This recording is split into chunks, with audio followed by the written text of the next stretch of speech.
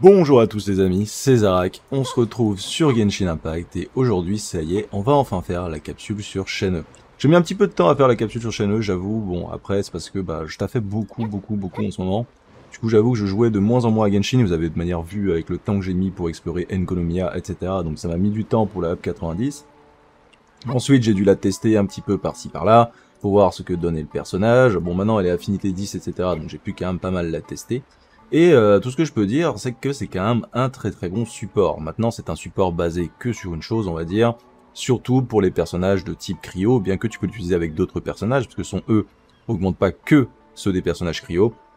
C'est surtout son ulti qui fait la différence si tu le joues avec un personnage cryo, ce qui est vraiment cool si tu le joues avec en fait. Et c'est ce qu'on va voir au fur et à mesure de la vidéo, on va regarder un petit peu ses compétences comme à chaque fois, on va les lire, et ensuite on ira les tester avec... Euh, avec ce qu'il faut, avec la team. Donc c'est pour ça que vous pouvez voir déjà la team qui est ici. Parce que le main personnage avec qui on va tester, eh bien ça va être Ayaka. Il n'y a pas besoin de tester avec d'autres. Vous comprendrez que manière que vous pouvez l'utiliser avec n'importe quel personnage cryo. Dans tous les cas, elle va augmenter les dégâts.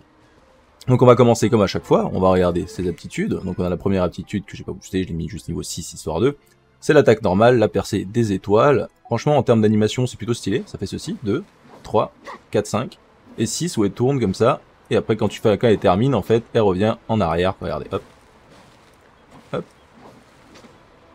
C'est plutôt stylé, plutôt stylé. T'as également euh, le cancel d'attaque chargée, parce que son attaque chargée, quand elle fait toujours à chaque fois un coup en avant comme pour tout le monde. Donc tu peux faire une attaque suivie d'une attaque chargée directement afin de t'éviter. Ou alors faire 1, 2, 3 et directement partir en attaque chargée. Ça dépend vraiment de toi. Tu peux faire le quatrième et directement partir également. Enfin, ça dépend vraiment de comment tu as envie de la jouer.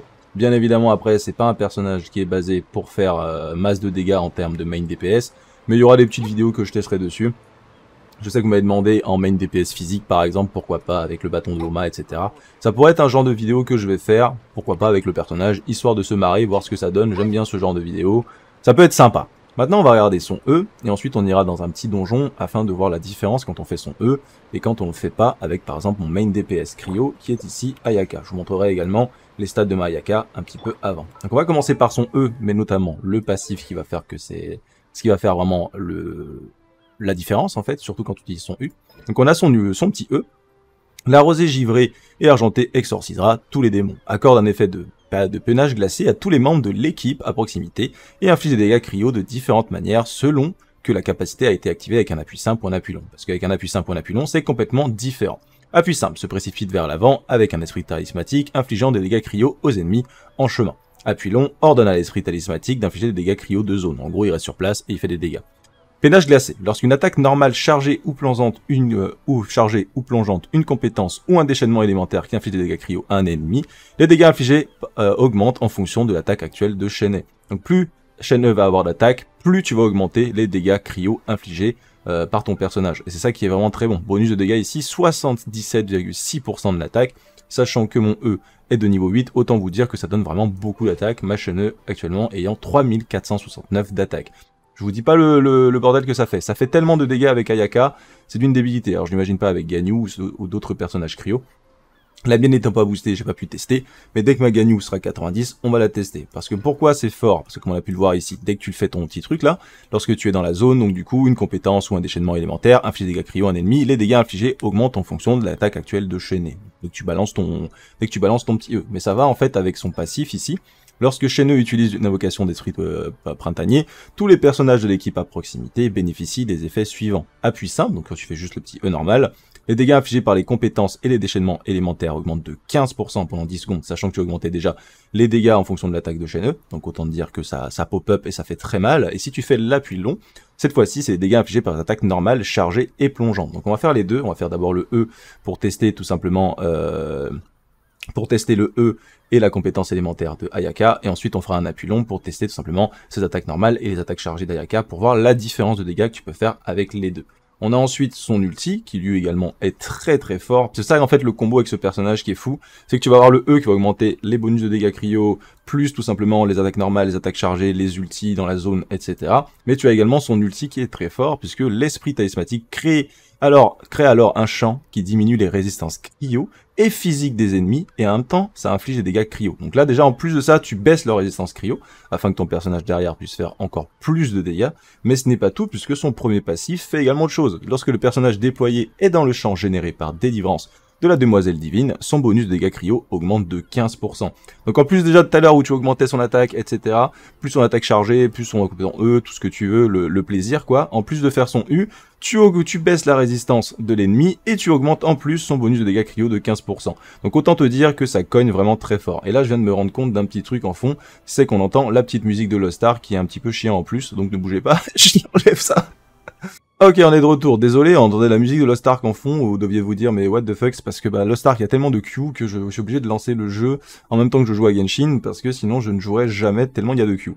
Donc voilà, on est de retour. Donc ce qu'on va faire, c'est qu'on va aller dans un petit donjon d'abord pour tester, et ensuite on ira face à un boss afin de voir le maximum de burst que ça peut faire, parce que je vais être honnête, je pense que Ayaka va juste dépop les mobs dans le donjon où on va aller, mais au moins ça permettra de faire petit à petit sans trop se faire aggro. Donc à tout de suite. Ok, on est de retour, donc on va faire d'abord sans utiliser le E de chaîne E, juste voir les dégâts que fait Ayaka avec juste son E normal. Ensuite on fera l'appui simple de chaîne E pour voir l'augmentation de dégâts que va avoir ma Ayaka. Ok, c'est parti. Donc on arrive directement, on met un petit peu ça, on fait le E de Kazuha, ok. Maintenant on fait le E d'Ayaka, bam, on met 25 000, ok, très bien. 25 000 tranquillement. On va attendre que son E revienne. Maintenant on va faire l'appui simple de chaîne E ici là comme ça, par plaisir. Paf Appui simple, terminé, on revient, on fait le E, bam, on passe à 29 000. Tranquillement, comme ça, gratuitement. On a augmenté un petit peu nos dégâts, ça fait plaisir, et encore, je crois tout simplement que Mayaka n'avait pas crit. Ok, maintenant qu'on a fait ça, on va refaire pareil, on fait le E, on fait une deuxième fois, bam 29 000. Donc autant dire que ça conne quand même pas mal. Et là, Mayaka est morte parce que je faisais de la merde. Ok, maintenant ce qu'on va faire, c'est qu'on va faire l'appui simple, euh, l'appui long, pour voir tout simplement les attaques chargées. Donc hop, appui long, et là on fait le E, 24 000, et là maintenant on passe en attaque chargée. Pam, 14 000, hop, hop, soit de calmer, pam, tranquillement, hop, hop, hop, 5400 comme ça, euh, sans, euh, sans le E chargé. Donc on va refaire le E chargé, ok, 12 000, et là maintenant on fait l'attaque chargée d'Ayaka, hop, reste ici, 10 000, et 11600. Donc vous voyez que ça augmente quand même un petit peu les dégâts. Les dégâts doublent quasiment lorsqu'on utilise en fait le, E chargé ou le E normal de la petite chaîne. Donc on quitte, on revient et on fait un autre combo pour voir vraiment les dégâts. Ok, on est de retour. Le problème avec le donjon, c'est que les mobs mouraient un petit peu trop vite. Donc ce qu'on va faire là, c'est qu'on va faire, comme tout à l'heure, le petit testing des dégâts d'Ayaka. Ensuite, on va faire le full combo avec l'ulti. Donc on fait le E, on n'a pas crit 5000 et quelques, très bien. Hop, l'attaque chargée 4000, hop, et ici 5000 et quelques, ok, très bien. Maintenant, ce qu'on va faire, c'est qu'on va faire ça, on va balancer ça, voilà, et là maintenant, on est reparti, 33 000 directement, 17 000, hop, ici en attaque chargée également, avec la baisse de résistance, donc autant vous dire que là, dès que ça part, tu vois directement la différence des dégâts que peut balancer du coup Shen. Donc on va récupérer l'ulti tranquillement de Ayaka, et ensuite on va venir lui balancer un ulti dans la face, hein. par plus plaisir. Donc à tout de suite. Ok, donc ce qu'on va faire, c'est qu'on va balancer le déchaînement élémentaire des AK normal en full combo, c'est-à-dire avec euh, sans utiliser les compétences de chaîne E, c'est-à-dire juste avec Ayaka, euh, notre petit Kazuha, etc. Et ensuite on fera la même, mais avec le full combo. Donc 20 000 ici, hop, on fait ça, on fait ça, et là on balance l'outil d'Ayaka. Et il nous a esquivé, mais bon, voilà, 18 000, 28 000 qu'on a pu voir comme ça à la fin. Ok, maintenant je récupère le tout et on revient faire faire le full combo avec Shen, ok? Ok, maintenant c'est parti pour le full combo. On va attendre qu'il se déplace parce que j'ai pas envie de refail euh, comme tout à l'heure, heureusement que ça l'a touché à la fin. Voilà. Et on va voir la différence de dégâts que ça va faire avec le full combo. Ok. Allez, TP-toi si t'as envie. Patrick. Ok, donc hop. E normal, on fait ça. On balance ça. On balance ça. Et on balance l'ulti d'Ayaka. On est passé à 30 et. On fait des attaques chargées tranquillement. Bon, il a de l'immunité certes, mais comme vous avez pu le voir, mes dégâts ont quand même grandement augmenté. Parce que bah, je baisse sa résistance cryo, j'augmente les dégâts de mon E, enfin de, mon, de mon burst et de mon E. Donc autant vous dire que ça cogne vraiment, vraiment très très fort. Du coup, on va revenir juste ici, pour discuter sans musique de combat. On va un petit peu parler du personnage, on va regarder le stuff que je lui ai mis vraiment pour qu'elle soit en full support, et voir c'est vraiment un personnage qui est assez viable dans votre team Cryo, ou pas. Bah là, de manière, je pense que vous l'avez déjà un petit peu remarqué. Du coup, on vient ici, ma chaîne E, comment je la joue? Bah je la joue tout simplement en mode vraiment full support. Elle avait d'ailleurs une arme 4 étoiles durant tout le long de ce showcase. Elle était également en C0. Et du coup, c'est un personnage qui est vraiment basé pour booster vos personnages cryo. Au fur et à mesure du jeu, on a eu vraiment de plus en plus de supports qui sont basés vraiment sur, sur un certain type. Bennett, quand tu actives sa C6, on va pas se le cacher, il est vraiment très très bon avec des personnages de type pyro. Même de base, il est vraiment très très bon avec les personnages de type pyro, ce qui va être là pour augmenter l'attaque, il est, etc. Ensuite, on a eu d'autres personnages qui font à peu près la même chose, donc surtout à Inazuma, on a eu, où est-ce qu'il est, euh, On a eu Goru, qui fait à peu près la même chose que Bennett, mais pour les personnages de type Géo. Dernièrement, on a eu Eugene, qui est vraiment très forte également en termes de 4 étoiles, pour booster les personnages qui vont augmenter les attaques normales. Donc encore un personnage support basé sur une chose précise, mais qui est quand même plus utilisable, on va dire, que Shen E, qui est vraiment full euh, focus sur les personnages de type Cryo, un petit peu à la même manière que Goru. Et euh, on va pas se le cacher, eh bien c'est un vraiment très très bon support. Ce personnage est vraiment excellent, surtout si vous jouez par exemple des personnages de type C0, un petit peu comme moi, où vous avez envie d'augmenter un petit peu plus leurs dégâts et d'avoir du coup vraiment un support qui est là pour euh, pour permettre de faire un maximum de dégâts. Parce que moi je l'ai testé avec Ayaka, parce que c'est le personnage cryo que je préfère jouer, mais vous pouvez très bien la jouer avec Shongyu, vous pouvez très bien la jouer avec votre euh, votre cher Ganyu, vous pouvez vraiment la jouer avec n'importe qui à partir du moment où vous faites des dégâts de type cryo. En termes d'armes, sur ma chaîne E, je suis parti sur la lance des 1000 élites parce que j'avais pas spécialement une autre lance, une lance 4 étoiles pour moi était largement suffisante. Surtout si tu la joues, comme je disais, avec Shongyun, etc., tu profiteras encore plus du passif. Déjà là, on va augmenter l'attaque de 27,6%. Comme on a pu le voir, ta chaîne E, plus elle va avoir d'attaque, plus tu vas augmenter les dégâts, et eh bien tout simplement, de ton main DPS. Du coup, c'est une très très bonne arme à mettre sur elle. Après, tu as également d'autres armes que tu peux mettre dessus. Si tu as envie d'avoir de la recharge d'énergie, tu peux mettre celle-ci. Tu peux également mettre celle-ci. Tu peux également mettre celle-ci. Si tu as envie d'avoir un petit côté DPS, tu peux également mettre celle-ci. Ça dépend vraiment de ce que tu as dans, ta box en termes d'armes, mais globalement, toutes les armes que tu as, ne t'en fais pas, tu peux les mettre sur ta chaîne E, elle fera quand même le café. Mais vraiment, si tu cherches une arme full 4 étoiles qui est très bien pour augmenter son attaque, n'hésite pas à lui mettre la lance des 1000 élites. Plus tu vas la raffiner, mieux ce sera. Mais vraiment, une lance qui est vraiment très très bonne sur elle. En termes d'artefacts, eh bien je suis parti sur des artefacts qui vont booster à balle son attaque, je suis parti sur deux rideaux du gladiateur pour augmenter l'attaque de 18%, ainsi que deux euh, pièces de réminiscence nostalgique afin d'augmenter encore une fois son attaque de 18% et d'avoir un bonus de 36% d'attaque, en plus de l'arme qui donne déjà 27%.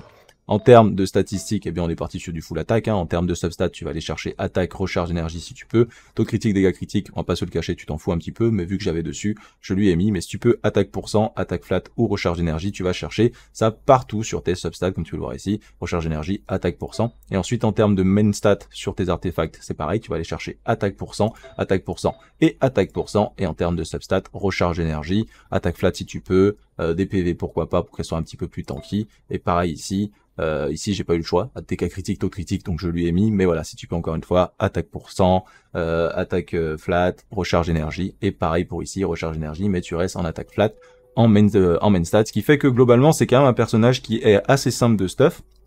Parce que ce genre d'artefact, attaque pour cent, défense pour cent, etc., ce sont les artefacts qui vont tomber le plus souvent, et le stuff gladiateur, tu l'auras dans tous les cas en farmant tes boss, et le stuff réminiscence nostalgique, c'est un, des meilleurs donjons que tu peux farm actuellement pour stuff la plupart de tes personnages parce que le stuff réminiscence est capable d'être mis sur à peu près tous les DPS et l'autre stuff que tu peux avoir dans le donjon, destin brisé, eh bien est capable d'être mis sur à peu près tous tes supports. Donc un très très bon donjon à aller farmer et un personnage plutôt simple euh, à équiper. Donc vraiment très très bon personnage, très bon support pour tes personnages cryo et qui fera entièrement le café. En termes d'aptitude, très clairement l'attitude 1 tu t'en fous, moi je l'ai boosté pour le flex mais ce que tu as vraiment besoin de booster, c'est son E, afin d'augmenter un maximum l'attaque de tes personnages, et son ulti, pourquoi pas, si t'as envie de faire un petit peu de dégâts par-ci par-là.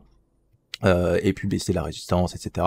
Donc c'est vraiment un très bon ulti à mettre, même en termes d'off euh, DPS, quand tu le mets, ça fait toujours un petit peu de dégâts en plus sur le terrain. C'est très bon à mettre, mais vraiment son E, tu le boostes un maximum si tu peux. Et si tu es vraiment fan de jouer une team full cryo, c'est vraiment euh, une compétence que tu peux très bien aller booster au niveau 10 sans aucun problème. On n'a pas parlé de son quatrième passif, mais ça augmente la récompense d'une expédition de 25%. En vrai, quand tu passes de 6 à 10 ou de 8 à 10 en termes de pierres que tu peux récupérer, c'est quand même un très bon petit passif. En termes de constellation sur la petite chaîne E, on a la première constellation, ça te permet d'avoir une charge supplémentaire sur ton E, c'est très bon, puisque ça te permet de pouvoir faire ton E normal, puis ton E en appui simple, et du coup de profiter des deux passifs du E. Donc vraiment une très bonne constellation à aller chercher à terme. Le C2 prolonge la durée de la délivrance de la démoiselle divine de 6 secondes.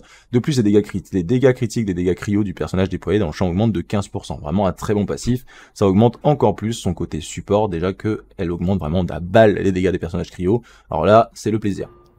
Le C4, Lorsqu'un personnage affecté par le, par le pénage glacé de Shenhe déclenche l'effet de bonus de dégâts de la, flèche, Shenhe obtient un cumul de mantras de Jive. Lorsque Shenhe utilise invocation d'esprit printanier, tous les cumuls de mantras de Jive sont consommés pour augmenter les dégâts infligés par cette invocation d'esprit printanier de 5% pour chaque cumul consommé. Cet effet peut être cumulé 50 fois et dure 60 secondes. Donc, euh, je pense, je sais pas trop ce que ça fait, mais à mon avis, ça doit quand même faire pas mal de dégâts, donc ça doit être quand même un très bon, une très bonne constellation. Mais personnellement, le C1 et le C2 sont pour moi celles qui sont au niveau. Et après, on a le C6. Lorsqu'un personnage déclenche les effets d'un pénage glacé avec les dégâts d'une attaque normale ou chargée, aucun cumul n'est consommé. Ah, ok, donc c'est les cumuls de ça, sachant qu'elle augmentait déjà de base les dégâts.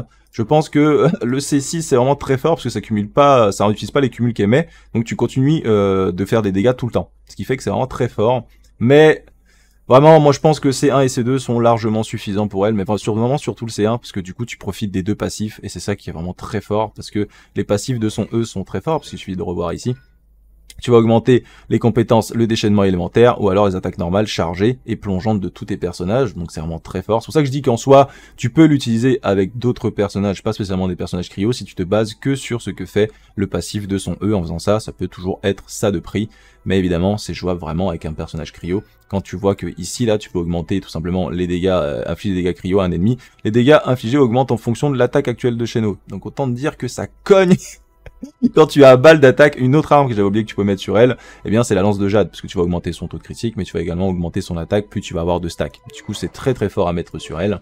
Et en termes de statistiques, ma chaîne du coup, elle a 25% de taux de critique, 107% de dégâts critiques et 151% de recharge d'énergie. Comme tu as pu le voir au long au cours de la vidéo, elle récupère quand même largement son ulti assez rapidement avec les 151%, donc ça fait le café. En termes de statistiques, Mahayaka avait 72% de taux de critique et 211% de dégâts critiques. Elle était également C0, et en termes d'armes, elle avait le coupeur de jade primordial, et en termes d'artefacts, elle était en full briseur de glace, ce qui fait que des fois je comprenais pas pourquoi elle crit, parce que normalement elle est censée avoir plus de 100% de taux de critique. enfin bref, ça reste un très bon support, un support qui est certes basé sur euh, un seul type de personnage, sur tous les personnages cryo, mais en soi c'est pas mauvais, puisque les personnages cryo c'est des, des, personnages qui avaient besoin d'avoir ce genre de type de support. Maintenant, est-ce un support qui est essentiel? Très clairement non, j'arrivais très bien à jouer Mayaka et à détruire la plupart des choses sans chaîneux, c'est juste qu'avoir chaîneux c'est toujours un petit plus à pouvoir mettre dans ta box, et un petit plus pour augmenter tes teams de personnages cryo si tu aimes jouer des personnages cryo. Donc c'est un très bon personnage à avoir dans sa box, pas nécessairement obligatoire de l'avoir, parce que comme on a pu le voir, c'est basé vraiment sur un certain type de personnage, mais elle fait quand même le café, elle peut quasiment doubler l'attaque de tes personnages cryo, donc vraiment, si tu comptes aller la chercher, moi je trouve que c'est quand même un très bon choix. J'espère que cette vidéo vous a plu. Comme d'habitude, si j'ai oublié des choses, n'hésitez pas à le dire dans les commentaires. Ce genre de vidéo est fait pour ça, pour qu'on puisse s'entraider et à comprendre comment fonctionne un personnage. J'espère que cette capsule vous a plu. Moi je vous dis à la prochaine les amis. N'hésitez pas à vous abonner, mettre un j'aime et en commentaire, du coup c'est le meilleur moyen de me soutenir. Moi je vous dis à la prochaine, portez-vous bien, et puis la bise.